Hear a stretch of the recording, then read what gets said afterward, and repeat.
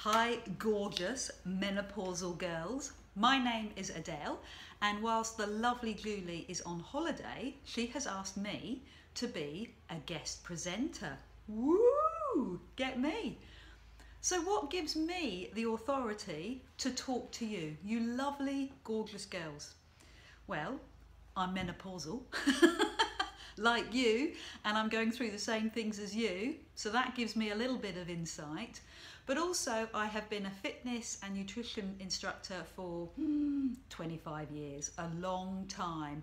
And I specialise working in with women who are over 40 who want to get body confident, body healthy, and lose weight. But losing weight is a sidetrack, really, to feeling fantastic about who you are. So that's a little bit about me. My little business is get-gorgeous.com and the girls that I work with are all gorgeous like you. But what I really want to talk to you about this evening is about, hold on to your seats, damp gussets. I know, it's out there, I've said it. Pelvic floor. Now I know how down to earth and lovely Julie is when she talks to you. So, and I know this is a very select group, so I thought I could get away with saying the words damp gusset. I hope I can. But it's something that we don't talk about and it's something that we should talk about. Pelvic floor issues. Your pelvic floor is a muscle. It's a muscle that you can do something about. So one of the things that I have studied for decades is Pilates and Pilates gets good press but it also gets bad press. I want to make it very simple, very clear and how you can strengthen your pelvic floor. Let me start with a really, really basic anatomy. How many abdominal muscles do you have? Three. You have three tummy muscles. Think of your abdominal, think of your midriff as a cylinder, like a can. I'm not going to say Coke can because we don't drink Coke. No, no, no. It's full of high fructose sugar. We're not going to drink that. But think of a cylinder, a can. And at the front of the can, you've got your six pack.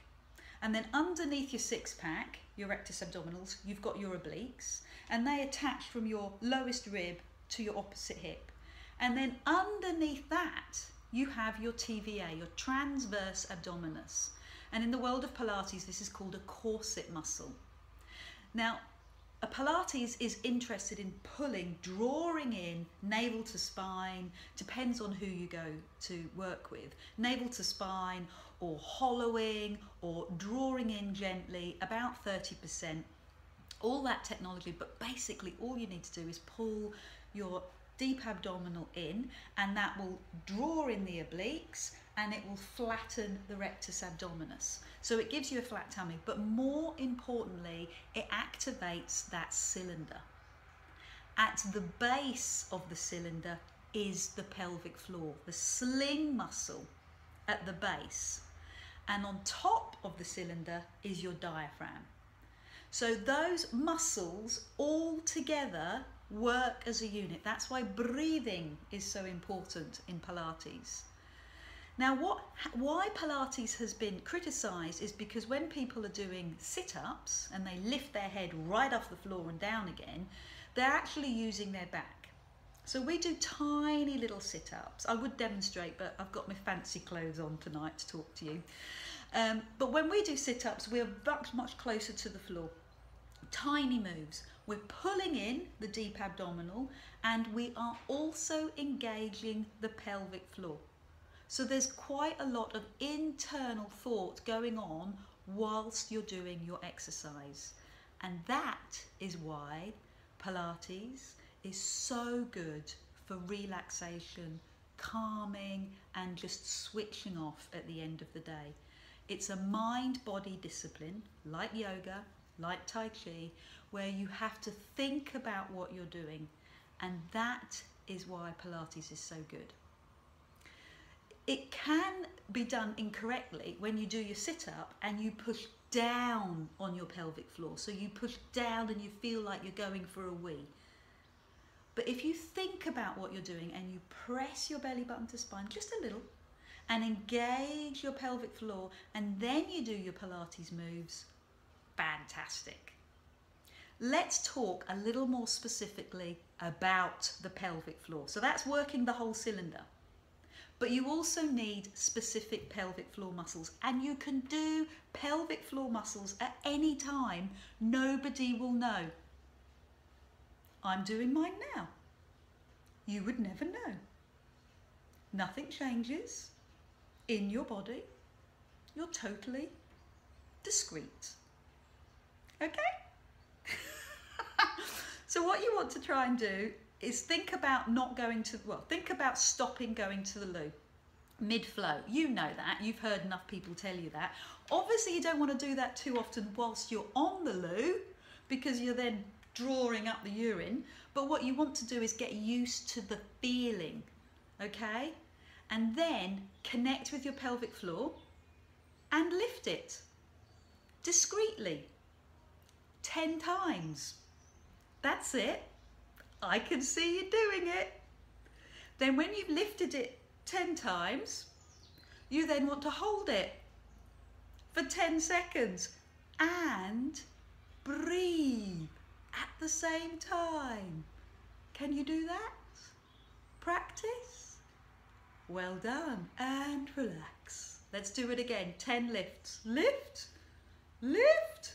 Engage the pelvic floor, the sling muscle between your legs. That's it. Lift. Another five.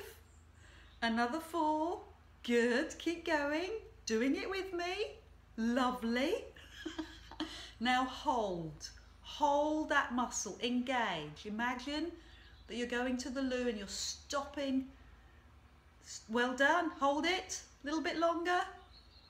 And then gently relax. So it's important that the muscles tense but they also learn to relax. Now, I spoke to somebody recently, professional lady, who had no idea where her pelvic floor was and had lost contact with her pelvic floor. Very, very busy life, lots, lots going on. But I promise you, the more you think about what you're doing, the more you practice what you're doing, then the easier it becomes to identify your body. It's, it's only a muscle. It's nothing to be intimidated by or scared by.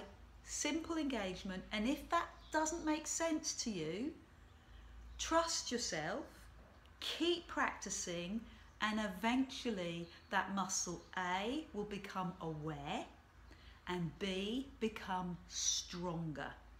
And that's what you want. No more damp gussets here. Pelvic floor strength holding on, that's it, and releasing. So you're not holding the, the pelvic floor or pulling the tummy muscle in all the time. You're doing it what? Morning and night whilst you're brushing your teeth? Something that triggers a habit, something that you do every day that you can then add your pelvic floor exercises to. That's what you want, a trigger to create that habit. I'm big into habits. That's how we change our lives. One small habit at a time. So I hope you've enjoyed this evening's chat. If you want me back as a guest presenter, I would love to come back and chat to you, especially because I know you're so down to earth. um, speak to you soon. Take care and have a great holiday, Julie. Miss you lots. Bye.